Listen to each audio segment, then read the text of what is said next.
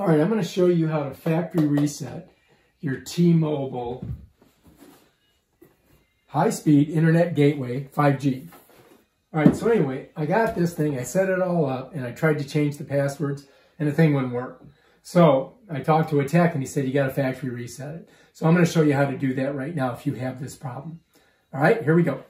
Okay, to factory reset this, what you got to do is get something like a paper clip, or I'm going to use these tweezers, and you're going to find this hole right above the LAN port at the very top of the tower in the back. And what you have to do is you got to push this down in there. And as you're doing that, you're going to hold it. And then you're going to look at the very top of the, uh, the tower itself, and it start, it's going to give you information. One, two, three, four, five. Now it says release button to factory reset. So all you got to do then is just release. Now you've got to give it time to cycle through and what it's going to do is it's going to go blank, and then the T-Mobile logo is going to come up, and it's going to blink for a little bit, and then it's going to come back to its original uh, settings. And there you have to uh, reset the language. And that's basically it, really. So we wait a couple seconds, and there it is.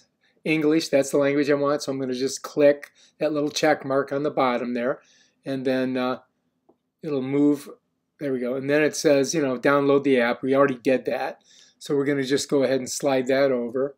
All right, to see if it's working, we're going to go to my iPhone. We're going to go to Wi-Fi and settings. What I did was I just turned the Wi-Fi off and I turned it back on. All right, so it's showing me the network. It recognizes it. I'm going to go ahead and click on it. Now it should remember the password. But of course it didn't. So I've got to go ahead and plug the password in. The password's on the very bottom of the tower. Now all I have to do is just type it into that field and hit join. And bam, there we go. We're in.